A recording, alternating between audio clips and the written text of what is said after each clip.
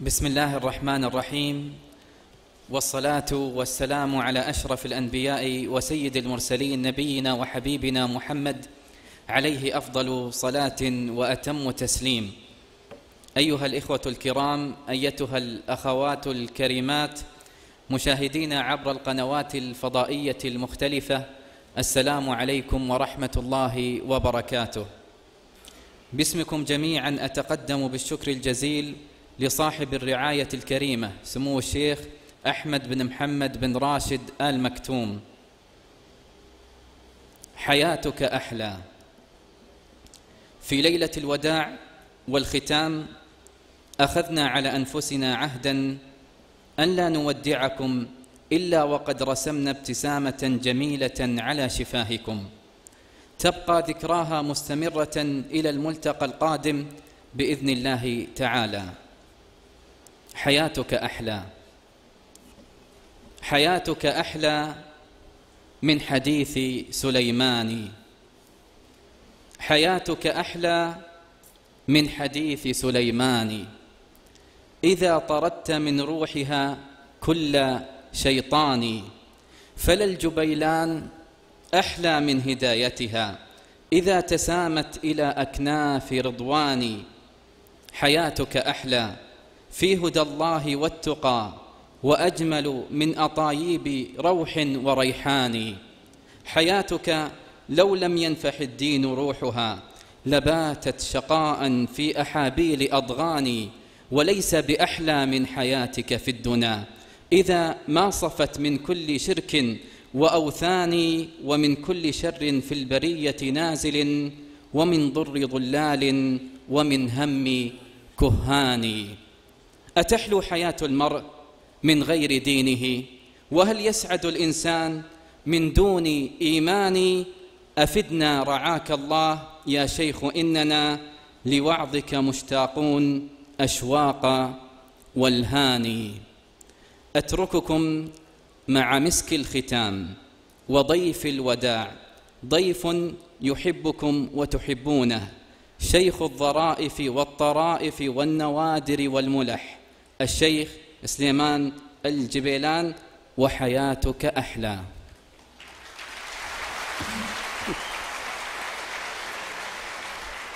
السلام عليكم ورحمة الله وبركاته. الحمد لله نحمده ونستعينه ونستهديه ونستغفره ونتوب إليه ونؤمن به ونتوكل عليه ونعوذ بالله من شرور أنفسنا ومن سيئات أعمالنا. من يهدي الله فلا مضل له ومن يضلل فلا هادي له. ونصلي ونسلم على خير خلقه محمد وآله وأصحابه وأتباعه صلاة وتسليما دائمتين إلى يوم الدين. اللهم لا علم لنا إلا ما علمتنا. اللهم لا فهم لنا إلا ما فهمتنا. اللهم يا معلم آدم علمنا ويا مفهم سليمان فهمنا.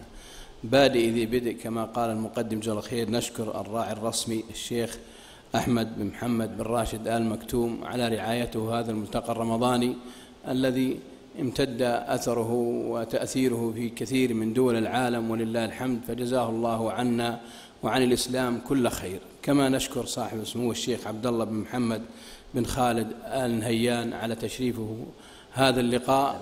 يقول البخاري في صحيحه يقسم أنس في صحيح البخاري يقول والذي بعث محمدا بالحق لقد كان الرسول صلى الله عليه وسلم تنطلق به الجارية حيث شاءت. تيجي تلقاه في السوق وتمسكه بيده وتنطلق به حيث شاءت. تصور يعني الآن خذ منظر تصويري الآن الشاشات قدامنا خذ هذا المنظر التصويري. الرسول صلى الله عليه وسلم ماسكته جارية ويركض وراها. هل يتخيل هذا المنظر؟ نعم يتخيل. لماذا؟ لأنه من سيد العالمين محمد صلى الله عليه وسلم حيث تواضع. وهو الذي قال من تواضع لله إيش؟ رفعه. ومن تكبر على الله إيش؟ وضعه. وتبي تشوف كبر بعض الناس؟ ادخل بعض الوزارات وادخل بعض الدوائر الحكومية وشوف كيف يسلمون عليك. كثير مسلمين. أنا دخلت على وكيل وزارة في إحدى في وزارة من وزاراتنا في المملكة فمديت يسلم والله يا إخوان يا صاحب السمو أعطاني إيده وحط قفل هنا. قرب الكاميرا الله يجزاك خير. حط قفل هذه منطقة محايدة. سلم. لا كذا. أنت سلامك زين. جزاك الله خير. هو سلم كذا. أي كذا. لا لا. أنت أن أنا أنا الوزير وأنت اللي مراجع. مد إيدك. كذا. ضرب إيده. وش قلت له أنا؟ قلت له ترى أنا مالي عندك شغل بس اللي يرسلني صاحب السمو الملكي الأمير فلان. قام من فوق كرسيه وقف على رجليه وقف. وسلم سلام قوي. السلام هذا القوي لي ولا للكلمة؟ ردوا. ها انتبهوا. ما أجمل تواضع صاحب السمو خير أنه يقبل هؤلاء الصغار. أنا قلت له قبل راسي الشيخ إمام الحرم الله يرحمه قول أمين. عبد الله الخليفي وأنا صغير صغير مثل ولد الصغير اللي تو جابوه مطوع. إلى الآن ما نسيت قبلة الرأس. فلذلك نسأل الحاضرين كم طفل قبلت رأسه؟ بعض الله يهديهم أصلا ما يقيم وزن للأطفال فضلا عن الكبار. فهذه لفتة مهمة وتدخل تحت عنوان أحلى إيش؟ أحلى حياة. كلما تورعت صارت حياتك حلوة. حتى الناس حبوك وصرت محبوب في المجتمع وكل يحترمك كل يقدرك. لأنه والله وبالله وتالله ما في إنسان يأخذ من صفات محمد صلى الله عليه وسلم إلا يسعد ويأنس واللي حوله يتحاوطون به. وجرب. أنا يعني من باب الله يرحمه قول أمين. ويجعل فردوس الأعلى قول أمين. الشيخ زايد أن هي وهو في قبره أسأل الله يجعله روضة له قول أمين. أذكر عام 84 أو 85 زرته. والله ما صدقت يوم قال لي محمد لأن رحيم محمد تعرف محمد النيان زوج بنته. ودخلنا أنا قلت له أنت يا محمد هذا الشيخ زايد صحيح؟ قال يلا هذيك هذا الشيخ زايد يوم راح يغسل يدينه. رجل بسيط بتواضعه و... هذا الناس تبي يا إخوان ترى. عمر عمرو بن عاص يوم ولده ضرب واحد من أهل مصر زعل عليه وغضب قال متى استعبدتم رقاب الناس وقد ولدتهم أمهاتهم إيش؟ أحرار. الحسن البصري يقول والله إني أخرج من بيتي وأنظر إلى الناس. مثلي أنا ولا أنت طلعنا من سوق آه، في شارع الجميرة ولا إحنا في دبي الآن ولا في الشارجة. طلعت في الشارع. يقول أنا أطلع من بيتي في الشارع فأنظر الناس. فإذا شفت الشايب اللي لحيته بيضاء ماذا أقول؟ أقول هذا سبقني إلى الطاعة. فإذا رأيت الصغير الغليم الصغير أقول هذا سبقته إلى إيش؟ من يعرف؟ شوف الكلمة القوية من حسن البصري. إذا شاف الشايب قال هذا الشايب سبقني إلى الطاعة. وإذا شاف الصغير إيش يقول؟ يقول سبقته إلى المعصية. سبقته إلى المعصية. شوف ست التواضع. لأن هذه الصفة الآن مفقودة في كثير من المجتمعات الإسلامية. فرقنا المسلمين وصار كل واحد يرى على أن أخوه المسلم شيء وسلم عند الإشارة وجرب. تبي تعرف التواضع؟ سلم على عند الإشارة. افتح القزازة وقل واحد على يسارك السلام عليكم ورحمة الله وبركاته. شوف كم علامة استفهام في وجهه. قد سلمت على أحد عند الإشارة؟ سلم بكرة. صحيح والله سلم وشف. مو هنا أنا أسلم في الإمارات أسلم. وأسلم عند الإشارات. يستغربون طوالي يعني يقول لك وش تبي؟ أقول له فقط أسلم عليكم يا أهل الإمارات. كيف حالكم يا أهل دبي؟ أهلا. قرب قرب قرب. وش معنى قرب؟ يعني اقلط. مستغرب يعني. سلام ما تعود الناس. سلمت على واحد يمني في اليمن. تو جاي من المطار. ولا جنبي جاي فيكس ار ومعي الاخطاها مقبل فقلت له السلام عليكم. قال عليكم السلام. ماذا تريد؟ قلت والله يا أهل اليمن نسلم عليكم. الله يوفقكم يا أهل اليمن, اليمن ونحبكم في الله. أسأل الله أن يوفقك ويوفق إن شاء الله أهلك وعيالك وزوجاتك. وزوجاتك. تعرفون أهل اليمن معروفين. أقل شيء ثنتين ثلاثة. معروف أهل اليمن. فأنا قلت له كذا. قلت له زوجاتك. قال عادوا وحده. إيش معنى عادوا وحده؟ يعني ما عندنا زوجة وحده. قلت والله غريب أنتم أهل معروفين. ليش ما في إلا وحدة؟ قال يكفي من أعداء الله واحدة. قلت من أعداء الله؟ قال الحريم النسوان ذول أعداء الله ورسوله. قلت يا رجال اتق الله الله يهديك. اتق الله يا رجل. الحرمة أمي وأختي وأبوي وأم وبنتي. قال والله إنهم أعداء الله ورسوله. قلت هذا أكيد عنده كهرب. لكن شوفوا الانشراح اللي صار بيني وبينه والسواليف اللي عند الإشارة. ترى يا أخوان ترى هذه القبلة من الشيخ الله يجزاه مين سهله إذا أنت قبلت أي إنسان ما تعرفه سلم لك على واحد هندي مثلا شوف كيف يتأثر. الشيخ بن عثيمين الله يرحمه كنت أوديه بعض الأماكن. مرة جيت أنا وياه بريدة بريدة وعنيزة منطقة متقاربة زي مثلا آه، آه، الشارجة وأم الخرفان. أم الخرفان إيش اسمها؟ خرفكان الفتحة يا صاحب السمو اعذرني عليها. الفتحة دي تورط. زين آه، إيش اسمها؟ خرفكان زين؟ فمنطقة زي كذا بريده عنيزه فوقفنا نصلي بمسجد وفي باصين. باصين هنود ومنقاليه وباكستانية. فنزلنا الشيخ طبعا ما مع البش نزل عشان نصلي. فصار والله وبالله وتالله عالم من هيئة كبار العلماء. وتعرفونه كلكم الله يرحمه من هو بن عثيمين؟ إنه صار يدور على الهنود الباكستانية في المسجد يسلم عليهم. ويقربهم على المكان لأنهم كانوا بعيدين. يقربهم على المكان اللي قدام. فقال لي يا أبو عبد العزيز تعرف أردو? قلت له والله أعرف أردو. أمي هندية يا شيخ. ما أعرف أردو. قال النبي عشان أحد يترجم. وأثر معهم واحد ما شاء الله مترجم. قلت شيخ خلنا نسأل. أستاذ قال هذا مترجم. ويجمعهم الشيخ قال وش عندهم ذولا؟ شاف عدد كبير. قال هذول رايحين عمرة المكة ويجمعهم الشيخ ويعطيهم درس وهذا يترجم. قعدوا بسطهم. تحلقوا عليه كما كما يقال باللغة العربية كما تحيط النجوم بالقمر. وصاروا حتى يسولف معهم. أنت جرب يا أخي. أنا مرة سأ... يعني دعبت واحد هندي وقعدت أسولف معه وانبسط أنت في وين؟ قال بنجلاديش آه بنجلاديش مبسوط؟ تكا very good أنا هذا مليان سليماني مليان روتي مليان دود. طبعا دود حليب بالأردن. ها سألته. قلت له الجنة فيها جنجال؟ تعرفون الجنجال؟ أبو أحمد تعرف الجنجال؟ جنجال يعني مشاكل. فقلت لهذا الهندي بعد ما سولفت معه قلت له الجنة فيها جنجال؟ قال في كفيل في جنجال. يعني خايف من الكبير حقه بالجنة. فنقول بالله التوفيق أحلى حياة أن تعيش حياة المصطفى صلى الله عليه وسلم. لن تعرف البشرية والله إخوان. أمس كنا في في في فطور دائرة النقل في أبو ظبي. دعونا بعد الفطور. وكان في أوروبيين وأمريكان وبراطنيين وهنود وإماراتية. حفل إفطار. داعة ودارة النقل أفطر معها وسووا كلمة عن طريق الترجمة. فيقول لي الإخوان اللي طبعا قاعدين مع بعد ما طلعنا أهل بريطانيين ذول الأوروبيين يقول استغربوا قالوا يعني هالدين بهالسعة وبهالسماحة. تكلمنا عن سماحة الإسلام وكيف الإسلام دين يسر ودين سهولة ودين لباقة وجبنا لهم كم نكتة وضحكوا حتى نشوف البريطانيين يضحكون بإنجليزي. فلذلك والله يا إخوان وصية ولا سيما اخواتنا النساء اللي يسمع لشاهد ولا سيما اللي فوق خلف الشاشات. حاول قدر الإمكان أن تتواضع مع الناس حتى تعيش حياة حلوة. تنبسط يا شيخ. وأقرب من تتواضع لهم من؟ ها أبو أحمد. أيوه جزاه الله خير. الزوجة يقول كذا. جزاك الله خير. أنت كذا تعال أنا أنا ترجم طرمان والله ما أدري. زين صحيح الزوجة الأولاد اللي بالفريج اللي حولك جماعة مسجدك زملائك بالعمل الوظيفة اللي تع... هذا بكرة بعد تخرج وتذكر بالخير بسبب الصفة وأنت كما قال ابن القيم يشرح الله صدرك. كان صلى الله عليه وسلم صدره أوسع ما بين السماء والأرض وعاش أحلى حياة المصطفى صلى الله عليه وسلم. رغم أن المصطفى يا إخوان هل عنده ما عندنا المأكولات والمشروبات الآن؟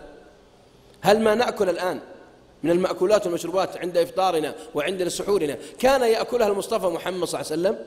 رد يا إخوان. أبدا يقول البخاري في صحيحه تقول أم المؤمنين عائشة والله إنا كنا ننظر الهلال تلو الهلال تلو الهلال ثلاثة أهلة في شهر في شهرين. كم؟ قال لا يوقد في بيت آل محمد نار. تعجب.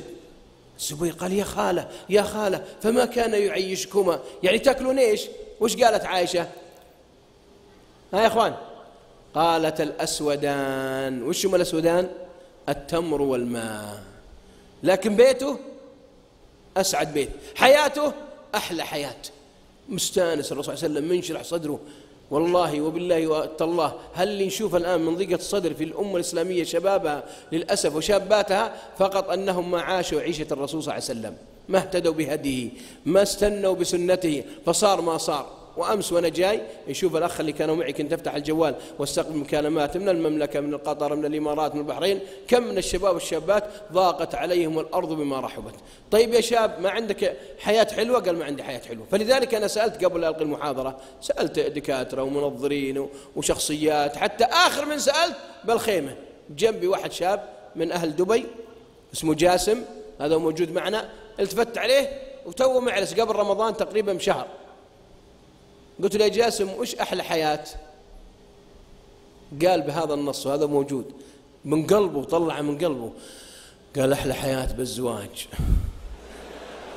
تو معرس قبل الله يوفقه قول آمين. ويرزق ذرية صالحة قول آمين. وحتى الكلية كلية البنات اليوم لقيت محاضرة كلية كلية الصيدلة الله يوفقهم قولوا آمين. كلية الصيدلة لقيتهم بنات اليوم كلهم يتخرجون صيدليات. ودعيت لهم قلت قولوا آمين. أنتم صيدليات إن شاء الله تخرج كل واحد منكم صيدلية وتتزوج صيدلي وتجيبون ولد تسمونه عيادة. وشوفوا هذه الأخوات البنات اتصلت على الوالده بالجوال. معك الجوال؟ جوالي والله ما أدري وين راح الله تستر ففتحت سبيكر واتصلت على أمي بمكه المكرمة بجنب بيت الله الحرام. قلت يمه أنا ألقي محاضرة في بنات الكلية كلية الصيدلة فبيك تدعين لهم يمه ادعي لهم إن الله يوفقهم. فتحت سبيكر. فأمي صارت تدعي. تقول الله يوفقكم. يقولون آمين. قالت ويصلحكم. قالت قالوا آمين. قالت يهديكم. قالوا آمين. قالت يزوجكم. قالوا آمين. صدق والله صحيح يا اخوان. ليش؟ لأن الرسول صلى الله عليه وسلم في صحيح مسلم من حديث أبي هريرة قال الدنيا متاع وخير متاعها. ها يا اخوان؟ الزوجة الصالحة. يقول ابن عثيمين الله يرحمه الدنيا مناصبها وقياداتها وذهبها وفضها وفضتها وأموالها وخيلها وكل هذه أفضل منه كله وشو زوجة صالحة. حبيبة هادية تعطيك الكلام الطيب لا تضيق صدرك لا تنكد عليك لا سيما اللي الحمد لله مثلنا. الشيخ متزوج ما شاء الله. مرتاح يعني. ما في جنجان. جزاه الله خير. زي إيه صحيح والله يا اخوان هذه ترى مثل ما قال فعلا تصير أحلى حياة. لماذا؟ قال الله تعالى هن لباس لكم وأنتم إيش؟ لباس لون. هذا في رمضان. في آية أحل لكم ليلة الصيام. أنا قرأت تفسير ابن سعدي قال اللباس هنا السكنة. أنك تسكن إلى هذا البيت. تسكن إلى الزوجة الطيبة الحبيبة الحليلة. وبالمقابل تو يقول لي أخونا أبو أخونا خالد بن سليم جزاه الخير أقول له أن الواحدة اتصلت علي البارح قالت يا شيخ أنت عندك محاضرة في ملتقى. قلت نعم. قالت أرجوك أرجوك يا شيخ تكلم عن الرجال وصهم علينا. قلت ابشري وسمي.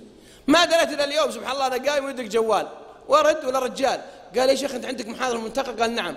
قال أرجوك أرجوك تكلم عن الحريم خلهم يعطونا حقوقنا. قلت والله نشبه وش الحل يا إخوان؟ إي والله قلت سبحان الله يعني ما الحل في هذا؟ البنت الحرمة البارح تقول وصل رجال علينا والرجل اليوم يقول وصل حريم علينا وش أسوي؟ نبي نسألك يا شيخ ما يخالف يعني بس هالمرة تحملا بس ولا خليه بعدين؟ طيب بعدين. قال الله تعالى الهاشمي يبشر أنا أنا وعدتك خلاص. جزاك الله خير الهاشمي. أقول صلى الله عليه وسلم يقول الله تعالى في سورة البقرة ولهن مثل الذي إيش؟ عليهن بالمعروف وللرجال عليهن إيش؟ درجة. كلام الرجل المرأة للبارح وكلام الرجل الصبح اجتمع بهالآية. يعني المرأة إذا أعطت الرجال حقه والرجل إذا أعطى المرأة حقته حقها عاش عيشة أنس بساط.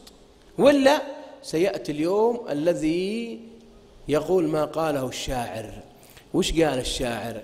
قال وإني لمشتاق إلى موت زوجتي. ولكن قرين السوء باق معمر. شوف أعوذ بالله. فيا ليتها أمست في القبر ضجيعة يعذبها فيها نكير يعذبها فيه نكير ومنكر. واحد يبكي وماتت امرته ويبكي وثالث يوم يبكي وأسبوع يبكي. قالوا يا فلان وش كل هذا أبوك؟ كل ذا حب المرك. قالوا من قال إني أحبه؟ كيف وراك تبكي قال ان سمعت العلماء يقولون أن البكاء على الميت يزيد عذابه. أوه. وش الله يقلع شيطانك؟ وين يا رجال رايح أنت؟ الله يجزاك خير. هذه ما بحياة. ما بحياة هذه أبدا. هذه لن تكون أحلى حياة. هذه أشقى حياة. أحلى حياة أن تأنس بمن حولك وهم أقرب الناس لك زوجتك أولادك. أنا أعرف أناس عشت معهم يا أخوان وقد واصل عمري الله يمتعنا وإياكم بالصحة والعافية. يقول أمين. وقد قارب عمري نصف قرن عشت مع أناس والله تحطه بأي مكان حياته حلوة. وإذا حل بمكان اللي حوله تصير حياتهم حلوة. تتحل حياتهم. إذا دخل واحد شايب عندنا قالوا محمد العلي السعيد وصل عمره قرابة المئة. الله يرحمه. قول آمين. وزار الإمارات هنا زمان أول شايب يمشي على عصا وآخر شيء صرت أنا دفه بعربية. حتى وديته المدينة وشاف واحد من المدينة من أصحابنا. قال يا شيخ سليمان هذا كم عمره؟ قلت والله هذا عمره مية. قول الله قديم. قلت لكن ما زال ما شاء الله تحت الخدمة. هالشايب ذا عمره حول المية جبته بالإمارات عندكم هنا. وعلى أيام الشيخ زايد الله يرحمه. قول آمين. يدخل على الأمراء والوجهاء والفقراء والبسطاء والمجالس من يوم يدخل؟ يا حي الله أبو علي إذا جاء الرجال المونس. عز الله مجلسنا يبي طيب وهذا اللي ينبغي يا إخوان أن تحلو حياتنا بمن نحليها لهم. الآن الشاهي بيش يحلو؟ إذا سويت شاهي عشان يصير حلو وش تحط به ها يا إخوان تحط به سكر وبالإنجليزي sugar صح ولا مو صح؟ أنت خليك سكر الحياة يا حبيبي. سكر وحده. مصرية من مطار القاهرة. هي وبنتها قالت لي آه، آه، البنت قالت يا ماما ده الشيخ اللي في التلفزيون. وكنت أنا طالع بقناه الناس بمصر فقالت لي العجوز المصرية دي قالت يا ابني أنت كنت في التلفزيون البارح قلت إي يما إي أنا بالتلفزيون قالت أرجوك أرجوك أرجوك تدعي لبنتي. قلت سمي ابشري. تبغين أدعي لها إيش؟ قالت ادعي لها ربنا يزوجها. قلت ابشري. وش اسمه؟ قالت اسمها سكرة. قلت والله اسمها سكرة؟ قالت والله اسمها سكرة. قلت الله يرزقها واحد اسمه شاهي. ويجيبون ولد يسمونه لبتون. فخلك أنس تروح اليمن تروح مصر تروح بريطانيا تروح أوروبا حتى تحلو حياتك أنت قبل الآخرين. لا نريد في المجتمع المسلم في أي دولة من العالم يأتي عليه وقت ويقول يا أخوي أنا زهقان أنا طفشان أنا مليت من الحياة. والآن موجود ولا موجود ألا يوجد أناس الآن يقولون الحياة ما لها طعم؟ في ولا يا إخوان ردوا ترى أنا ما أدري. ما في ناس الآن يقول الحياة ما لها طعم؟ فيه بكثرة في دول في دول التعاون وغيرها من الدول الخارجية. أنا تو جاي من بريطانيا. قبل رمضان كنت أنا والشيخ ابن قعود الله يوفقه حسن والشيخ العموش كنا أسبوعين في بريطانيا. في أدنبرا وكلوراد وإكسفورد وكاردف فرأينا في تلك البلاد اللي كل شيء يبيح به بريطانيا مباح به تشرب خمر الله يحفظنا إياكم مباح. تأتي النساء مباح. ومع هذا في تلك الدولة اللي فتحت بابها لكل شيء؟ وجد شباب من الأمة الإسلامية من يقول الحياة ما هي بحلوة. يا أخي والله ودي أموت طفشت من الحياة. ليت الجوال معي أخوي الفاضل الطيب أخليه يقرأ. كم عدد اللي كاتبهم؟ منتحر واحد منتحر اثنين منتحر ثلاثة منتحر أربعة منتحر خمسة منتحر عشرة. ليش؟ قال الحياة ما تستحق إن نعيش به بالعكس والله. والله إن الحياة حلوة متى ما قربنا إلى هدي الرسول صلى الله عليه وسلم. الحياة حلوة متى ما عشنا وفق مراد الله منا. الحياة حلوة إذا ما أدخلنا إيش؟ الشيء اللي يغضب ربنا. الآن كاتبين لك بالدعاية امشي هنا في شارع زايد مثلا ولا في أبو ظبي أمس أنا ولا قبل كم يوم في العين ولا تعال عندنا في الرياض. فأقول نرى في الدعاية يا إخوان أحلى حياة. من منكم قرأ إعلان عن أحلى حياة يعطينا الشيخ ذكر عن زخير قال خذ من الجمهور. من يعرف؟ قرأ إعلان كذا بشاشة ولا بتلفزيون. كلمة أحلى حياة. أنا قريت.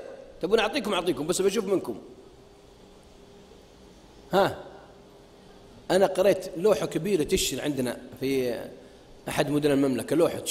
أحلى حياة أحلى حياة.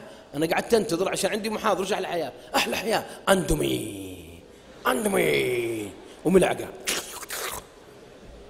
أحلى حياة مع أندمي يعني اللي ما يأكل أندمي ما هي بحياته حلوة. هذا هم ناس واجد يأكلون أندمي ولا سيما إخواننا الأندونيسيين الله يوفقهم. قول أمين. الأندونيسية تبي تخلي توانسة جيب له هدية كرتون أندمي تنبسط تستانس. هل أحلى حالات بأندمي لذلك شوفوا أهل الدعاية. أهل الدعاية والإعلان كل يهتم وكل كما يقولون يدندن على ليلاه كل يدندن على إيش؟ على ليلاه فإذا كان واحد عنده مصنع شامبو وش يحط الدعاية؟ ها؟ يحط عن إيش؟ واحد عنده شامبو يحط دعاية عن الركب. نحن ننعم ركبتك ركبتك تكون ناعمة شامبو صنصلك. هذا يحصل لا؟ ما يحصل. إيش يقول لك يجيب لك على الرأس. نعومة فائقة. والشعر يجي كذا ومن يجيك جريمو. صح ولا مو صح؟ طيب إذا جينا مصنع الأحذية كرمكم الله المجلس يجيك من رجلك. نحن نرسم لك الأناقة والمشية الأنيقة. إنه حذاء كودوك طيب ليش هذول قال لك هذول عشان يبين لك إن هذه الحياة تحلو بهالأشياء الحسية. طيب أنا بخلي حياتي حلوة بالأشياء المعنوية قبل الحسية. هذا مهم. الأشياء الحسية التي نلمسها هذا كاس الانبه ما نلمسه. لكن حس الشيء المعنوي الذي قال عنه سبحانه وتعالى من عمل صالحا من ذكر أو أنثى وهو مؤمن وش نسوي به؟ فلنحيينه حياة طيبة أحلى حياة. هذا صورة إيش؟ هذا صورة النحل. وبنفس الصورة صورة النحل النحل. وقيل للذين اتقوا ماذا أنزل ربكم؟ قالوا خيرا للذين أحسنوا في هذه الدنيا. إيش؟ حسنة. قال ابن عباس حسنة الدنيا بياض في الوجه ونور في القلب وقوة في البدن وبركة في الرزق وحب في قلوب الخلق. الناس يبدون يحبونك. والله يا أخوان ما يعكرن الحياة مثل ما قال سبحانه وتعالى في آخر سورة نوح. اسمع ماذا قال في آخر سورة نوح. مما خطيئاتهم إيش؟ أغرقوا فأدخلوا نارا. قال ابن القيم سبب تعكير الحياة طبعا معنى كلامه ليس نصا سبب تعكير الحياة هذه الذنوب التي جعلت الماء الماء يرتفع إلى قمة الجبال. خذ شاي من الشيبان في دبي. من المسجد للبيت للديوانية حقته. إنسان محافظ على الأمور الدينية محافظ على الأخلاق الإسلامية. عمره ستين سبعين ثمانين ما دخل بحياته قسم شرطة ما عنده مشاكل. واسأله وش الحياة؟ يقول والله يا ولادي الحياة خير. أنا أمي كما قلت لكم الله متعبة سألته قلت يوم أنت إذا عديت الثمانين وش أحلم بالحياة؟ والله يا أخوان هذا والد الله يمتعبه وش تتوقعون؟ قالت لي والله أني آه، ما يخالف بسألك يعني لا تزعل علي تكفى. آه أبو خالد. أبو أحمد شيخ خالد مسلي ماذا تتوقع والدتي ماي مدر قالت لي يوم قلت له يمه وش أحلى الحياة؟ قالت لي بهذا النص يا أبو أحمد. قالت لي يا وليدي والله كذا يا إخوان يا وليدي أحلى حياة بطاعة الله. أحلى حياة إيش؟ طاعة الله. سألت شاب عمره 16 18 سنة قلت وش أحلى حياه يا شاب؟ قال أحلى حياة بسيارة بي إم 2009 أركب علي عمر عند الشباب وادق لهم بوري. ديد ديد ديد ديد ديد عشان يشوفون يدقون لي. شوف شوف كل مزاجه لكن اللي جرب الطاعة شيباننا كبار السن فينا عقلانا يعرفون أن أحلى حياة بهذا الأمر. فلذلك المعاصي بجميع أنواعها. أولا عشان نختصر. أولا يا إخوان نصيحة. لأني ما زلت السنين تتكرر وتعود وبعض الناس ما زال رمضان يعود عليهم ويعود. وهو كما قال أهل مكة جزاهم الله عنا خير تيتي تيتي زي ما رحت إيش؟ زي ما جيتي. ومثل ما قالوا العسكر ومعنا حقون الدفاع المدني العسكريين. وش يقولون العسكر؟ يقولون مكانك إيش؟ مكانك راوح. جاء رمضان وجاء رمضان 2008 و2007 و2006 وحنا ب 2009 الآن. وهو هو ما صالح مع أمه ما صالح مع أخته ما صالح مع قريبه. ترى في ناس يا إخوان الآن عاد عليهم رمضان اعواما عديدة وازمنه مديده وما زال في قلبه شيء على بن على بن خاله ولا بن عمه. رغم أن رمضان شهر صفح ولا مو بشهر صفح من يأتي بالدليل أن شهر رمضان شهر صفح ونعطيه جائزة؟ لأن الشيخ زخير قال لي شارك الجمهور. جائزة قيمة. شهر رمضان عرف عند أهل السنة وأهل السير أنه شهر عفو وصفح وش الدليل؟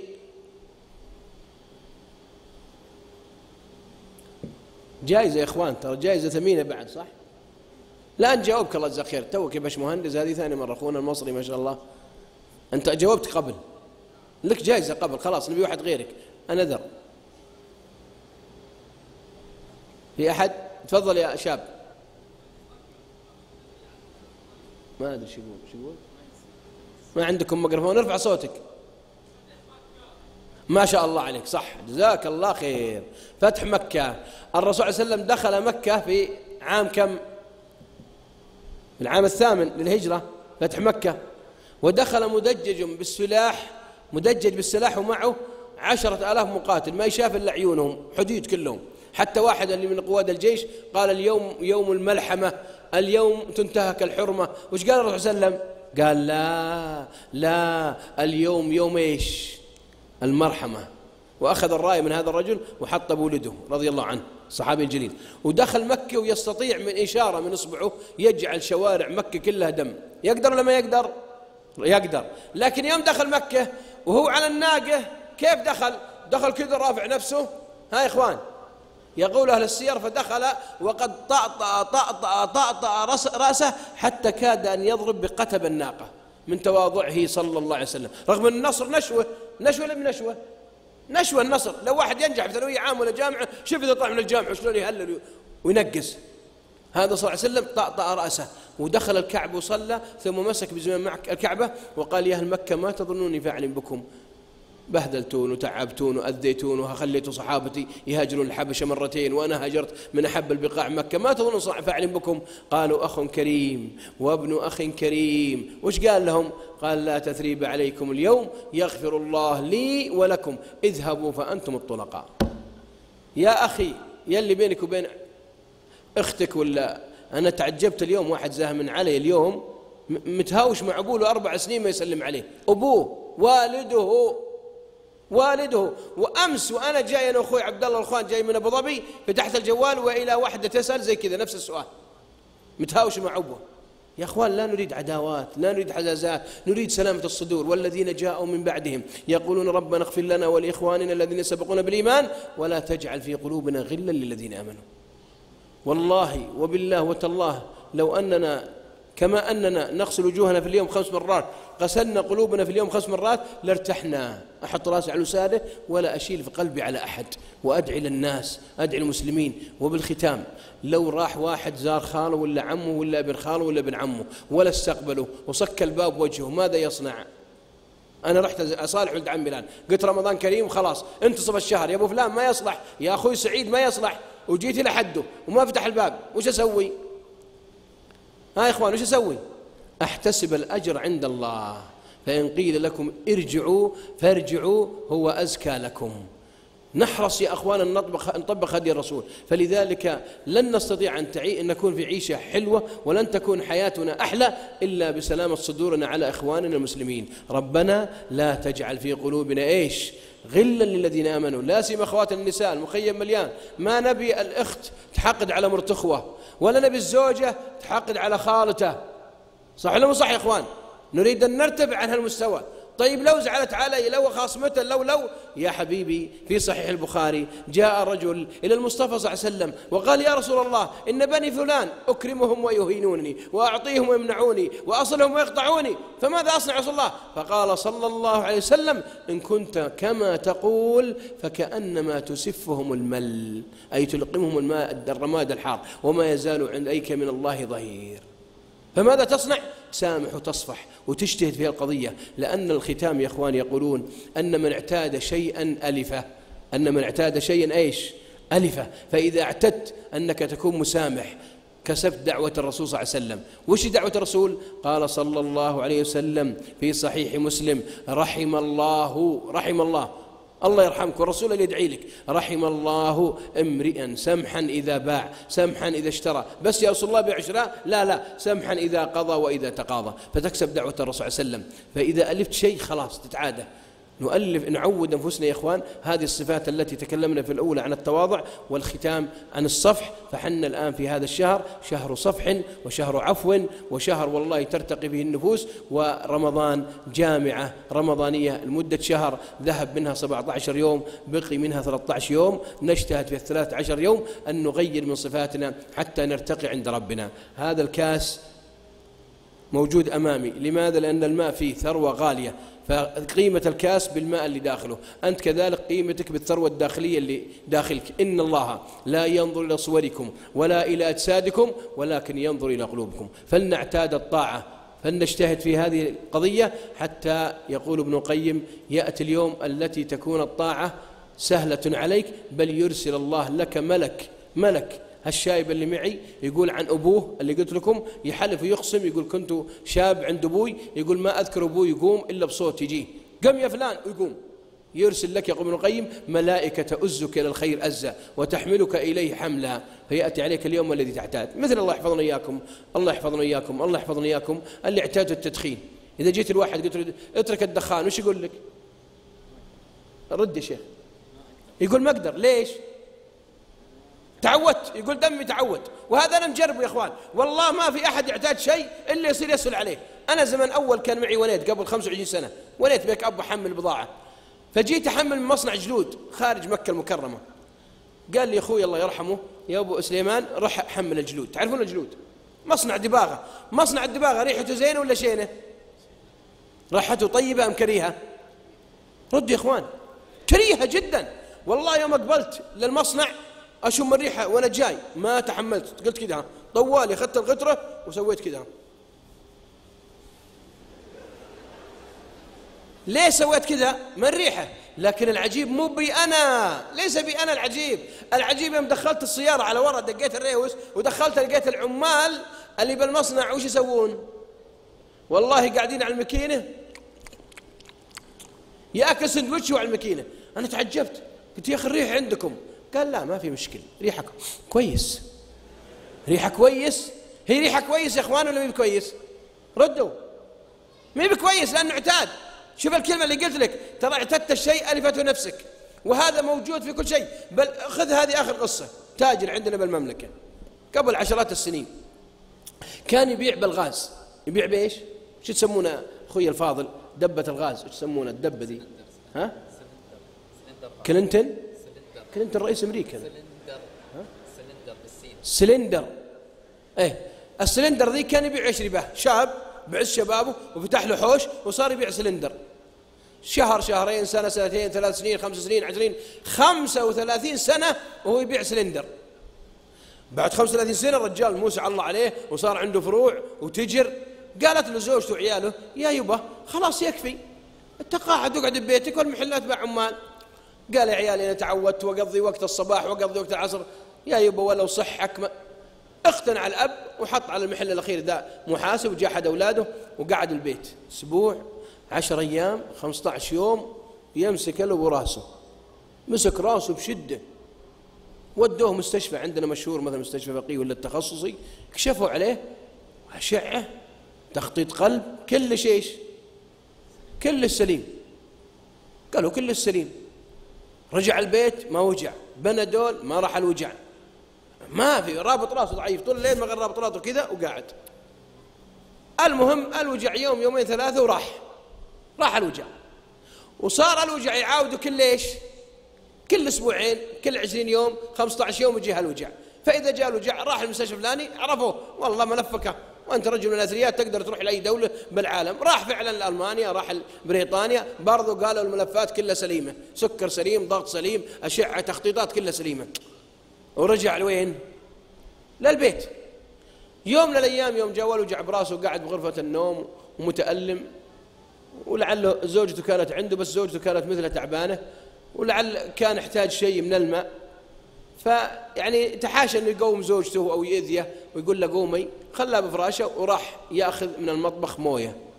يوم دخل المطبخ كانت العاملة بالبيت الخادمة القز ابتقاز يسمونه؟ الابتقاز كانت ناسيته وكان الغاز طالع. والحمام وكرمكم الله المطبخ وش ريحته؟ ريحته غاز. فدخل الرجال ذا اللي رابط راسه وراح كل مكان يعالج ما لقى علاج.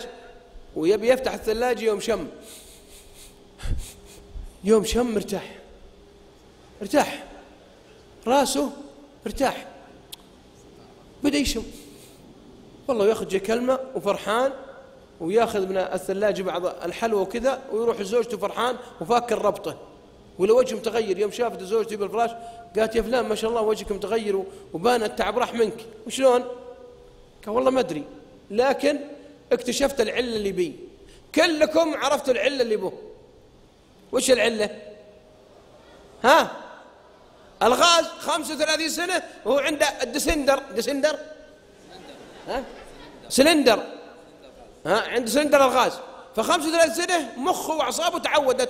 يوم انقطع عن السندرات وجاء البيت ما عنده سندرات تعب راسه. يوم جاء المطبخ عرف إن الغاز هو علاجه. فصار أول ما يجي هالوجع بعد أسبوعين ثلاثة يجي المطبخ ويفتح الغاز ويقول آه ياي. فأختم بهذا المثال يا رجال يا نساء وأقول لنعود نفسنا الطاعة. سيأتي علينا اليوم التي نعداد جميع أنواع الطاعات. تصير سهل علينا. إن جينا في عبادات في عقائدنا إن جينا في عباداتنا إن جينا في معاملاتنا إن جينا في أخلاقنا إن جينا في معاشراتنا. وأخطر وأخطر وأخطر ما يضرك ويغير عاداتك أبختم جلسائك.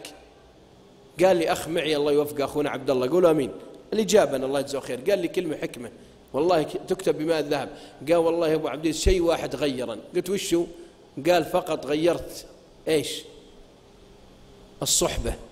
قال صلى الله عليه وسلم المرء على دين إيش؟ خليله. فلينظر أحدكم إيش؟ من يخالل. ما لم تجانسه احذر تجالسه ما ضر بالشمع إلا فرقة العسل. فعشان تحلو حياتنا نغير اللي حولنا لأن اللي حولنا هم اللي يحلون حياتنا واللي حولنا هم اللي يعكرون حياتنا. فإن كان اللي حولنا ينطبق عليهم قوله تعالى في سورة الكهف واصبر نفسك مع الذين يدعون ربهم بالغداة والعشي يريدون وجهه فحياتي تصير حلوة. إذا كانوا جلساء ينطبق عليهم قوله سبحانه وتعالى ويوم يعض الظالم على إيش؟ على يديه.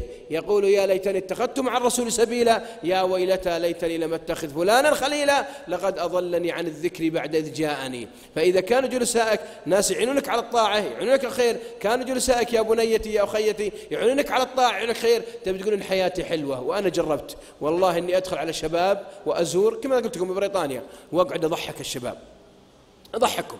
زرت شباب في دولة من الدول قال لي أحد الأخوة ترى ذولا شباب يحششون. يشربون حشيش الله؟ يحفظون إياكم. فدخلت أسولف معهم وكذا وجاء طار المخدرات قال يا مطوع نبي نحل حياتنا يعني ما نحل حياتنا نبي نحل حياتنا. قلت حل حياتكم بالحشيش؟ الله يهديكم وأبدأ اضحكهم وانكت عليهم بدوا يضحكون يضحكون يضحكون. تفقطعوا من الضحك. قال يا مطوع بسألك سؤال ما تزعل. يقول لي واحد منهم قلت والله ما زعل تفضل. قال ما تزعل. قلت والله ما زعل. قال يا مطوع أنت تضحك الضحك بصراحة أنت محشش؟ قلت خيب عليك مطوع محشش وش الله يجزاك خير قال يا مطوع والله إحنا نضحك كذا صرنا محششين أنت مرفع مرة يا مطوع أنت بايع يا مطوع. قلت له أخوي قال غريب. قلت له إحنا مطوع نضحك الحمد لله. قال بس أنا مطوع غريب. قلت لا ماني غريب. أنا مطوع 2009 بفتحة.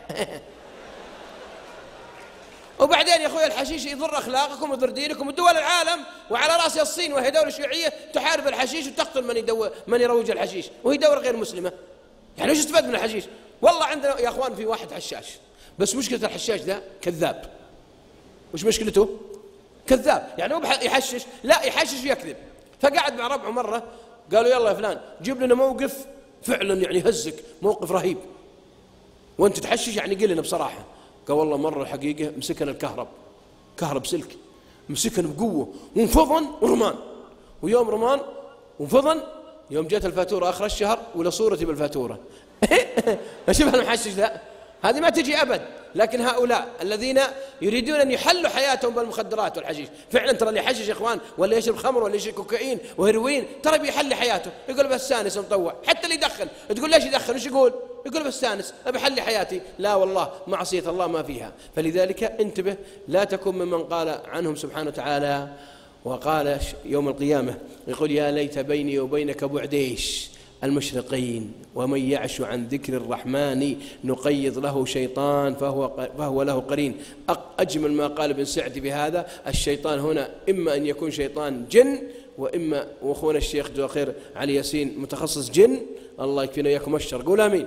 هذا أمامي الحقيقة. والله إن شيطان الإنس أشد. الشيخ مرة الله يجزاه خير. قول أمين. شيخ عبد الله. هذول المشايخ يقولون على الجن عجيبين. مرة جابوا شيخ شيخ قبيلة. كريم من كريم العرب؟ كريم العرب يا إخوان من هو حاتم الطائي. فجابوا واحد شيخ قبيله كريم كريم كريم ما غير المواد منزله. فجابوه قد دخل فيه جني. جابوه عند الشيخ مثل علي ياسين ذا يبي يقرأ عليه. فالشيخ قرأ عليه. بسم الله الرحمن الرحيم. الحمد لله رب العالمين. الرحمن الرحيم. وبدأ يقرأ. فالشيخ ذا شيخ القبيله الكريم بدأ ينتفض مره ينتفض. وبدأ الجن يهز هز فالجن من قوة القراءة تأثر. قال خلاص خلاص أبى أطلع أبى أطلع. فشيخ القبيله قال والله ما تطلع إلا أنت متعشي. اي كريم العرب. فأقول ويوم يعض الظالم على يديه. آسف. قال ومن يعش عن ذكر الرحمن نقيض له شيطان فهو له قرين. أعرف بنات في السعودية وبالامارات وفي قطر بنات طيبات. يدرسن كلية بجامعة بثانوية. والله ما غير مساره وخلاه للهايوي بالشمال إلا الجليسة. صح مو صح؟ وأعرف شباب في بريطانيا شفتهم. جو من مكة المكرمة ومن دبي ومن قطر الدوحة ومن الكويت وراحوا قد ذهب بهم أهلهم أو حكومتهم عشان يجوا الشهادة لكن تعرفوا على شاب هناك قليل دين. قليل خوف الله فأخذوا عن طريق إلى طريق الشمال. وضايع هناك شفتهم بعيوني في بريطانيا. وبالمقابل شفت هناك شباب راحوا لبريطانيا على للدراسة ويقول لولا الله ولطفه ثم الشباب تعرفنا عليهم بالمطار. طيبين ساقونا إلى المركز الإسلامي مركز الشيخ حمدان بن راشد في أدنبرا في آه، دبلن وغير المراكز وصار خير لهم. فالله الله بالختام نريد أن نحل حياتنا لن تحل حياتنا إلا بمن حولنا فالذين حولنا سيحلون حياتنا. إن كان اللي حولنا حبيبين طيبين صالحين تصير حياتنا حلوة وطيبة وصالحة. وإن كان اللي حولنا قشران عراب جهم صاحبين جلنطات فاصلين لمبة الريوس من جماعة سر الليل يا أبو شرنقة. يا أبو شرنقة سر الليل. وهز يا ولد ها؟ والله ستتعب وستمل من حياتك. وكم من الناس ملوا حياتهم ولكن نأنس بحياتنا إذا أطعنا ربنا. و قربنا من الله وأدينا عباداته وسيأتي علينا اليوم الذي نعيش عيشة حلوة. وينطبق علينا كلام إخواننا المصريين جزاهم خير جزاهم الله عنا كل خير. عيش أيامك عيش لياليك. خلي شبابك يفرح فيك. عيش وتهنى تبقى الدنيا تصبح جنة. بس رقصني يا جدع. لا ما يجوز. ما يجوز. جزاكم الله خير. وجزا الله الشيخ عبد الله بن محمد بن خالد آل نهيان على تواضعه وتشرفه لهذا المهرجان. وجزا الله الشيخ أحمد بن محمد بن راشد آل مكتوم الراعي لهذا المهرجان كما نشكر الإخوة القائمين الذين هم خلف الكراوي الكراوي الكرا خلف الكرا الكلاويس. إيه، وجزا الله أخونا خالد بن سليم وأبو أحمد وكل من ساهم في هذا اللقاء. نودعكم على أمل اللقاء بكم. إلى العام المقبل. محبكم أخوكم سليمان عبد العزيز الجبيلان كامل الدسم خالي من الكريستون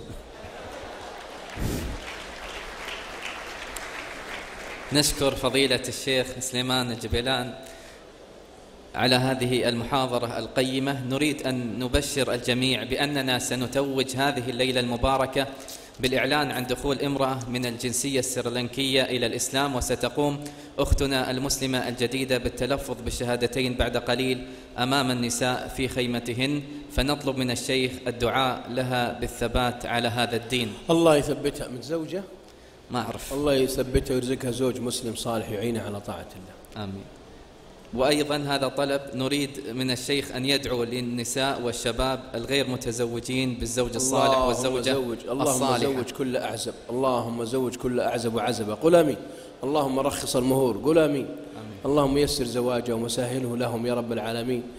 أسأل الله يا أخوان أن يعيننا. الشيخ عبد الشيخ عبد الله محمد صاحب السمو والله قال لي تونا بجنبه.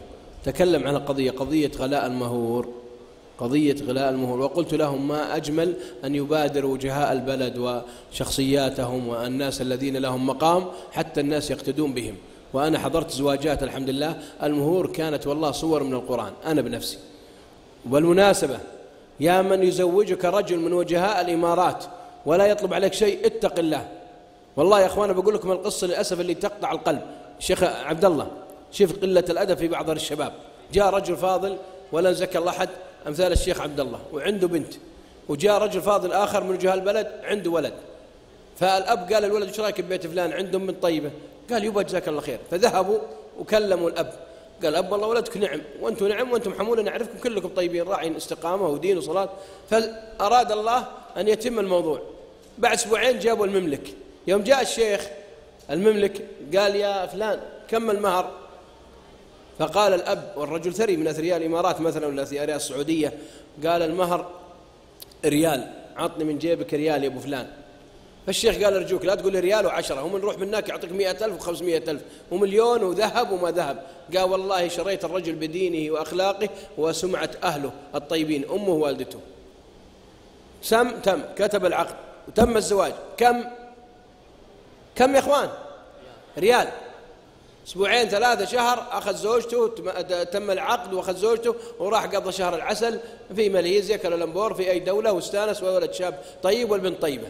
بس المصيبة الزوج إذا جاي ينادي حرمته ما يقول له تعالي يا لطيفة لأن اسمه لطيفة أو تعالي يا سبيتشي لأن اسمه سبيتشي ولا تعالي لا صار يقول له تعالي يا علبة البيبسي.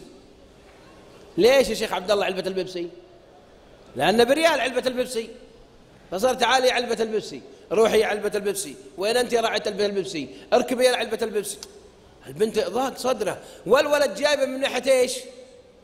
من ناحية الدعابة بيدعب زوجته يمزح وبعض الناس مسحوا على قول أهل مكة عفش. تعرفون عفش؟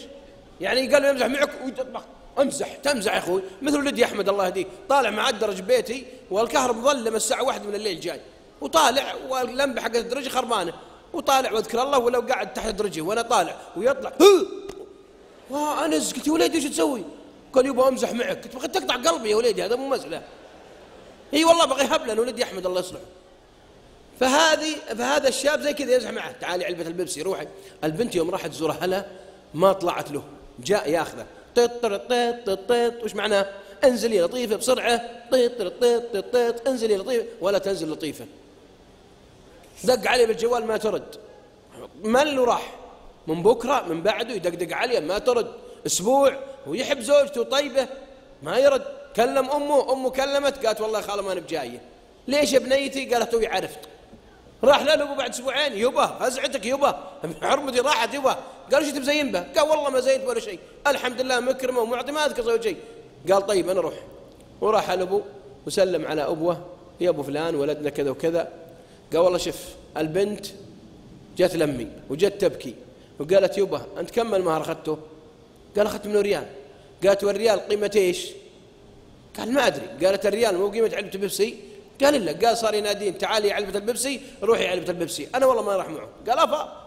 في يوم جاء الأبو قال شوف يا حبيبي تجيب ولدك حياك الله لكن يرجع ياخذه بس بشرط بنص مليون ريال. يا يبا ولا عطنا ورقتها؟ والله يستر علينا وعليكم. قال والله ابشر يا أبو فلان. ويجيب الولد ويقعد عند الأبو. قال أنت تقول له كذا وكذا؟ قال يبغى أنا أمزح. قال صحيح. قال قال ما تأخذه. قال الأبو والله انت شريتونا إحنا نشريكم نص مليون ابشر. ويكتب شيك الابو بنص مليون ريال. ويأخذ حرمته. ويوم أخذ حرمته وراح البيت. تعال يا مصنع البيبسي.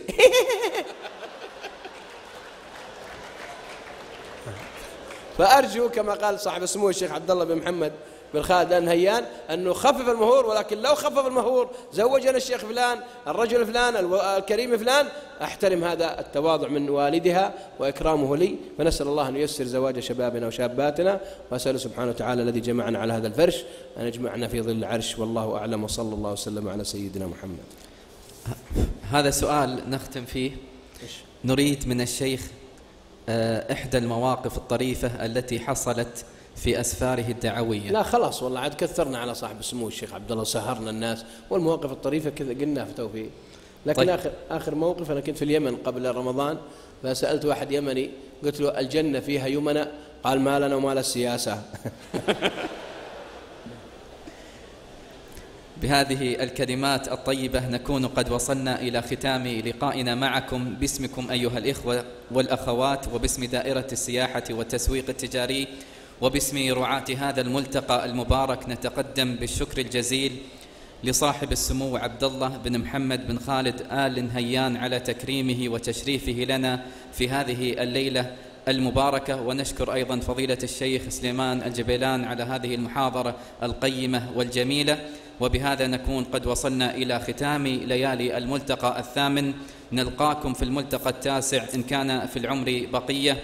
لا تنسوا القائمين على هذا الملتقى المبارك من صالح دعائكم. والسلام عليكم ورحمة الله وبركاته. السلام عليكم ورحمة الله وبركاته.